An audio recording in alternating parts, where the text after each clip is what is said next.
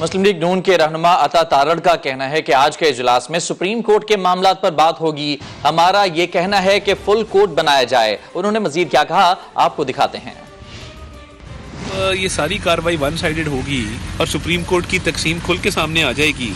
एक particular mindset के तहत मामला चल रहे हैं तो ऑब्वियसली हम भी मशावरत का हक रखते हैं मुशावरत होनी चाहिए। सियासी जमातों को पार्टी नहीं बनाया गया। चार तीन के मामले पे फूट है।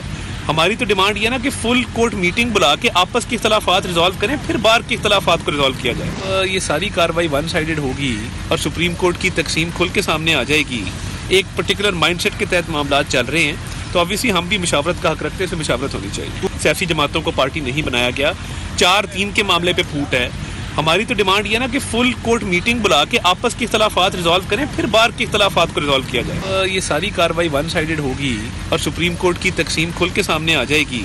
एक पर्टिकुलर माइंडसेट के तहत मामला चल रहे हैं तो ऑब्वियसली हम भी मशावरत का हक रखते हैं मशावरत होनी चाहिए। सियासी जमातों को पार्टी नहीं बनाया गया।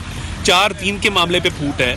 हमारी तो डिमांड ये ना कि फुल कोर्ट मीटिंग बुला के आपस के इख्तलाफात रिजॉल्व करें, फिर बार के इख्तलाफात को रिजॉल्व किया जाए।